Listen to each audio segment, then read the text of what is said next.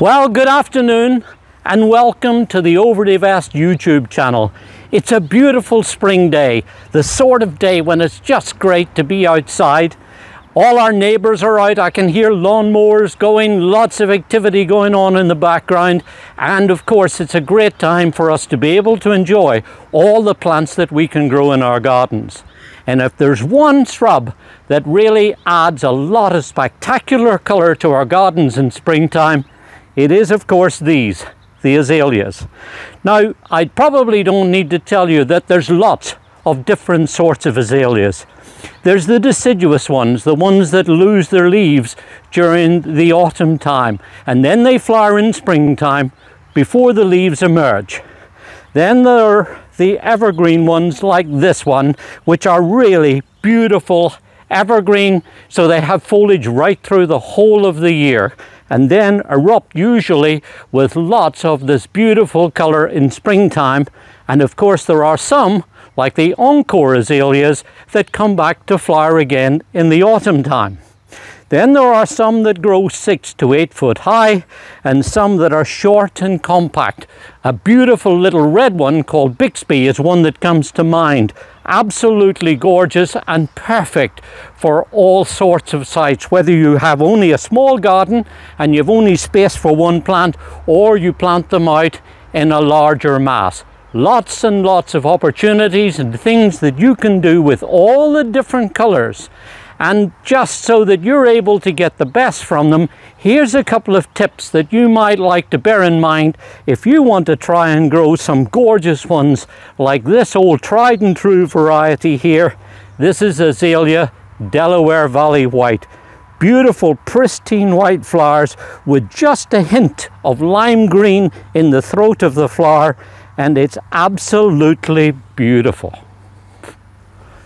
And if that one's a little too tall for you, then you might want to think about growing this little beauty.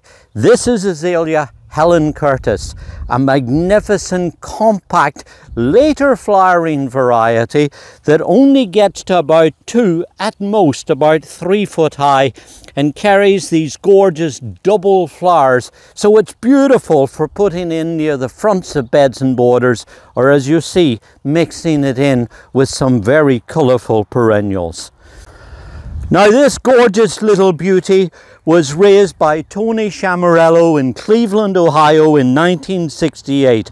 Hardy to zone 5 and very suitable for our environment here where we get cold winters and warm humid summers not exactly the conditions that many azaleas like but for my money this is one that is today probably the best little compact double white flowering azalea in existence today. And the fabulous thing is that when they're in flower, they really last a good long time, giving at least several weeks of spectacular color. And when there's ones like this, the evergreen types that have year-round foliage, they look pretty throughout the whole of the year.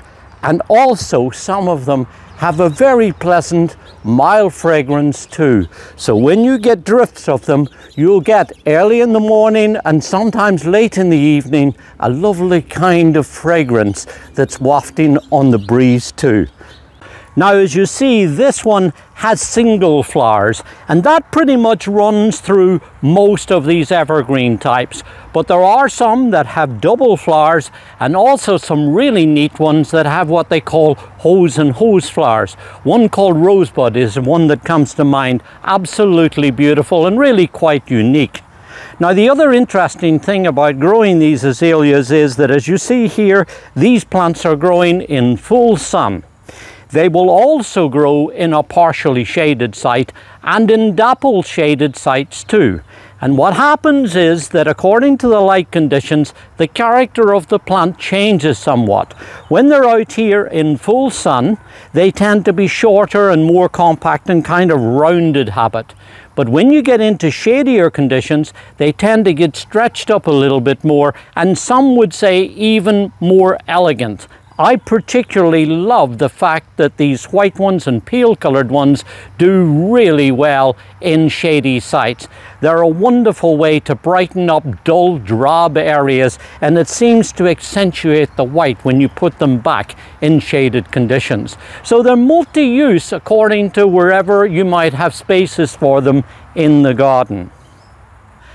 And as you probably know, they come in a wide variety of color types too, from whites through to pale pinks to lovely peaches and reds and deep dark fuchsia purple colors too. Really spectacular. Lots of really nice color combinations that you can put together. And in fact, if you're able to blend these together, Many people will tell you that when you see banks of azaleas growing together, it resembles something like a beautiful patchwork quilt.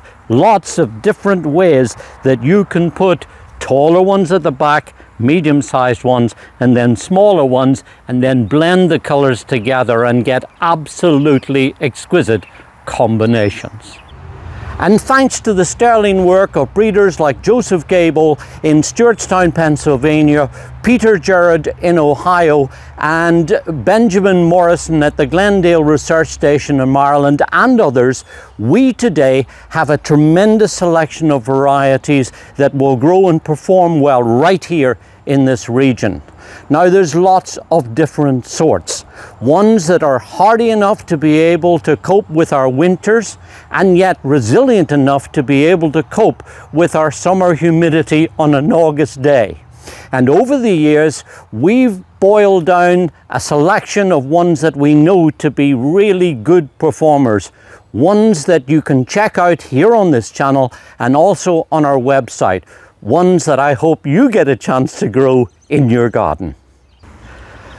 Now, whether you're growing them in sun or in shadier conditions, there's one thing that is very important, and that is that they really need to be in good free draining soil. An average garden soil will be fine, but they just do not like to grow in damp, wet conditions.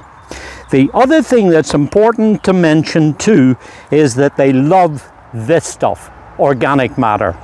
So when you're planting them, it's a good idea, whether you're planting a single one or better still, a group of them like this, to cultivate the whole area that you're going to be putting the plants into and then in, work in plenty of organic matter. Now that could be garden compost, it could be pine bark, pine needles, anything that's lots of rich humus, that's the stuff that they love.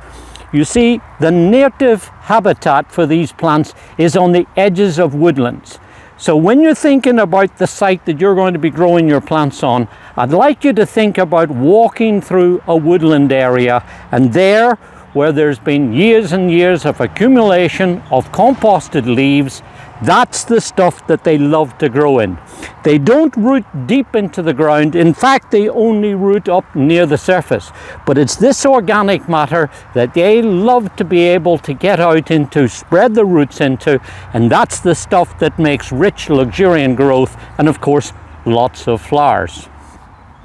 The other thing that's important to mention too, that ideally they like to be on a soil that's on the pH scale a little bit on the acid side of neutral. Somewhere around about six is optimal.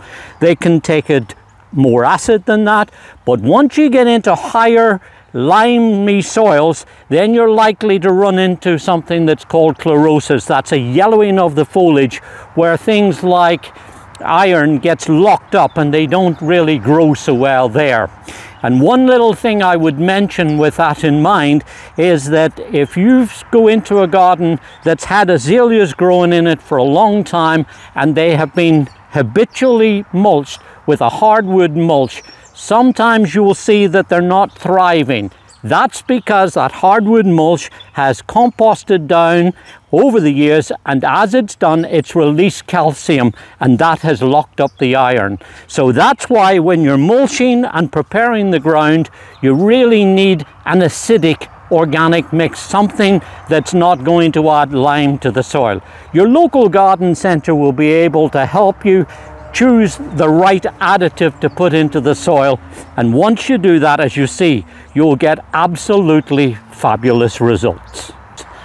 And as I've mentioned in some of our other videos, if you haven't already done it, it's probably a good idea just to run a little soil test to make sure that you understand just what the pH level of your soil is. That will help a great deal. Now when you plant them first, you're going to have to keep them well watered until they become established really give them a good soak and then depending on the weather conditions you might have to do it say once or twice a week. What I do is I usually scratch the surface of the soil and if it's a little on the dry side that's when I'll give them a good soaking and allow it to get down to the roots of the plants. Then when they become established like these plants here and you've worked in the organic matter and put down the mulch, you'll find that then they really don't require a whole lot more maintenance and also they'll unless we get a really dry prolonged spell most of the time they won't need any watering but that's only once they become established. If you're in doubt there is a video here on this channel where I take you through the process of how to plant a shrub. It's exactly the same for these and certainly on there it will give you guidance as to how you can water your newly planted plants. So there you are, there's a couple of quick pointers and suggestions that I hope will help you be able to grow some gorgeous azaleas in your garden. Now, if you've liked this video, it would be nice if you could please click the like button because then that will help other people find that information too. And if you don't mind and you haven't already, think about subscribing to our channel too because we're busy posting new videos all the time with hopefully lots of information that will help you be more successful in your gardening endeavors. This is David Wilson. Enjoy your gardening. It's good for us and it's very good for our environment too.